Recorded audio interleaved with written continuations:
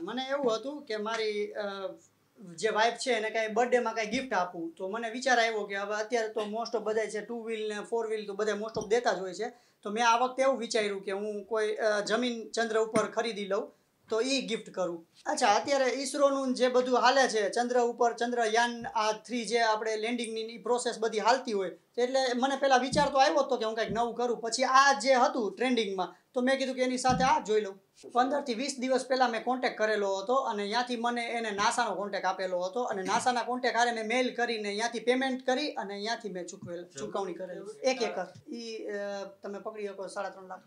મને એકચ્યુઅલીમાં મને કાંઈ જ આઈડિયા નહોતો. હું સડનલી ઘરે હતી અને મને કોલ આવ્યો કે તું શોપે આવી જાય કામ છે. એટલે હું સડનલી આવી ગઈ અને આવીને હજી તો બે બેસતી જ હતી ત્યાંમાં.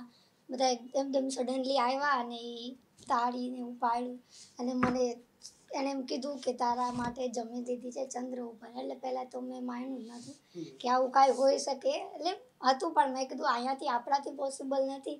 એટલે અચાનક આવ્યા, બધું સર્ટિફિકેટ નહીં દેખાડ્યું, એટલે હું એકદમ શોક થઈ ગઈ કે સાચે આડે આવી મોટી સરપ્રાઈઝ આપી છે. એકચ્યુઅલીમાં મને હજી સુધીમાં કાંઈ જ સરપ્રાઈઝ નથી. આવ્યું જે આવ્યું એ પહેલું જ આવ્યું અને ખૂબ એટલે શોકિંગ સરપ્રાઈઝ હતું આ.